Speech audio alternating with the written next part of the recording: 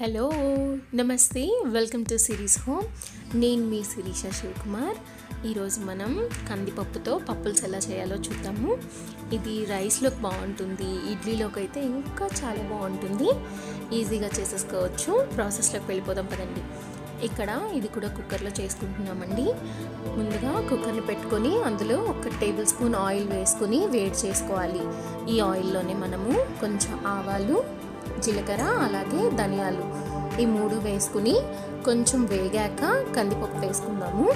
ఈ ఫ్లేవర్ చాలా బాగుంటుందండి. మీకు ఇవి కానీ వద్దు అనుకుంటే ఇవి తీసేసి ప్లెయిన్ కందిపప్పుని రోస్ట్ చేసుకోండి ఆయిల్లో కొంచెం. కానీ ధనియాలు వేయడం వల్ల చాలా మంచి స్మెల్ వస్తుంది. ఇక చూసారా నేను ఒక గ్లాస్ కందిపప్పు వేసుకున్నాను అలాగే ఐదు నుంచి ఆరు వరకు ఎండుమిర్చి వేసుకున్నాను. మీరు ఇక్కడ ఎండుమిర్చి కాకపోతే పచ్చిమిర్చి కూడా వేసుకోవచ్చు కానీ ఎండుమిర్చి చాలా మంచి టేస్ట్ వస్తుంది. ఇది మా అత్తమ్మ స్పెషల్ రెసిపీ. మీ అందరికీ డెఫినెట్గా నచ్చుకు నచ్చుతుంది ట్రై చేయండి. సో చూసారా ఇది ఒకసారి వాష్ చేసుకొని అలాగే ఒక గ్లాస్ వాటర్ పోసి పెట్టుకొని నానపెట్టుకుందాము.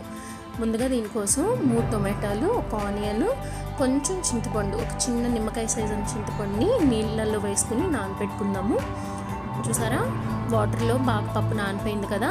ఇప్పుడు ఇందులోనే టొమాటోస్ ఆనియన్ వేసుకొని ఒక చిట్టికేడు పసుపు వేసుకొని కుక్కర్ విజిల్ పెట్టేసుకుందాం అనమాట మీకు పప్పు పైకి తన్నకుండా ఉండాలంటే ఇక్కడ కొంచెం ఆయిల్ వేసుకోండి చాలా బాగుంటుంది. అంటే ప్రెషర్ పైకి వచ్చేటప్పుడు పప్పు అంతా పైకి వచ్చేస్తుంది కదా అలా రాకుండా ఉంటుంది.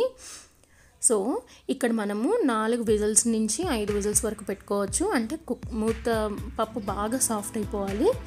చూసారా? విజిల్ వచ్చేసాక చాలా సాఫ్ట్ అయిపోయింది కదా. మీరు ఈ స్టేజ్లో కావాలంటే మీరు ఎండుమిర్చిని తీసేసుకోవచ్చు. లేకపోతే అలా ఉంచి కూడా వేసుకోవచ్చు. ఎండుమిర్చి తీసేస్తే అంత కారం ఉండదండి. సో ఇక్కడ నేను పప్పు ఉడికిపోయాక సాల్ట్ వేసుకుంటున్నాను. వేసుకొని పప్పు గుత్తితో అలాగా ఎంపుకొని మెత్తగా చేసుకుంటున్నాను అనమాట ఇలాగా మెత్తగా చేసుకున్న తర్వాతే మనము చింతపండుని నానబెట్టుకున్నాం కదా ఆ వాటర్ని ఇందులో వేసుకోవాలి. చూసారా? చింతపండు కానీ ఉప్పు కానీ ముందే వేయకూడదు.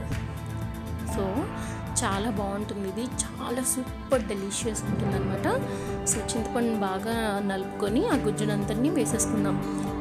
సరేనండి సరదాగా ఒక పొడుపు కథ అడగమంటారా? ఆకలేయదు నీరు తాగదు నేలను పాకదు కానీ అదొక తీగ. అదేంటో మీకు తెలిస్తే నాకు కామెంట్స్లో ఆన్సర్ చెప్పండి.